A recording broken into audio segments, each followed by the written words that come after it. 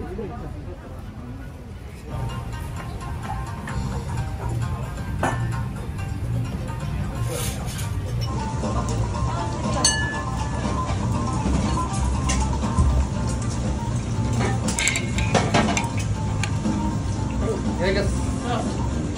だ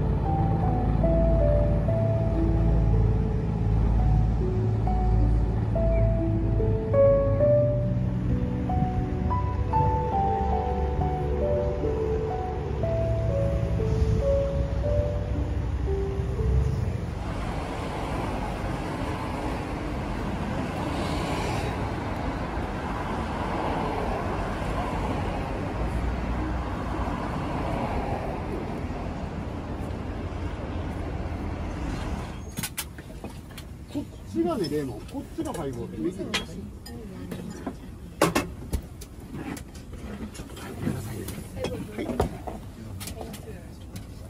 This one. だから俺それまで行かなかったかないやあの常連とのあの絡みがめんどくさいですよ Uh, おペンさんは好きなんですけどクソだるくてはいこれが水割りです。でロックが2杯ですね。銀銀杏二つ。銀杏、えー、ぼんじり銀杏